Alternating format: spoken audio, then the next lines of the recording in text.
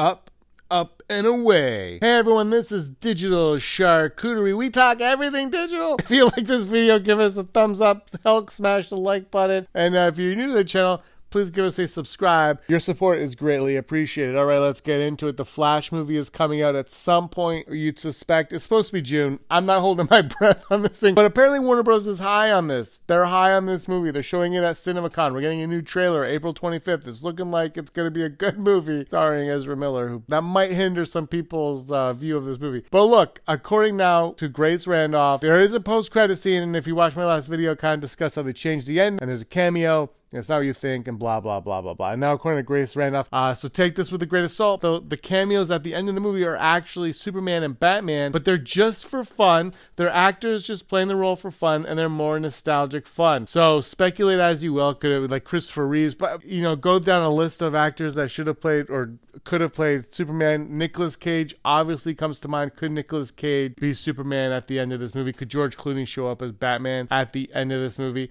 Are you even excited? To see a cameo by one of these actors at the end. I think yes, it would be fun. I think the the Flash movie is supposedly quote unquote resetting the DCU and then we're gonna like soft launch with Blue Beetle or something, I guess. So I, I'm curious to see how it plays out, how people interest in this film play out. Are people still going to be interested at you know knowing that the events of this may make no might not matter at all?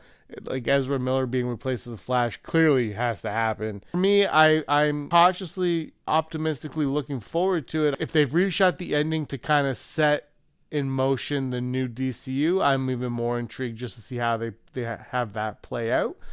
As for these two cameos, could be fun. Why not? Let's see what they got. All right, everybody, let me know who you guys think is cameoing at the end of the movie. Give me a uh, give me a comment in the, in the comments below. Comment in the comments below. Sure. Thanks everybody for watching. May you be the master of your own universe.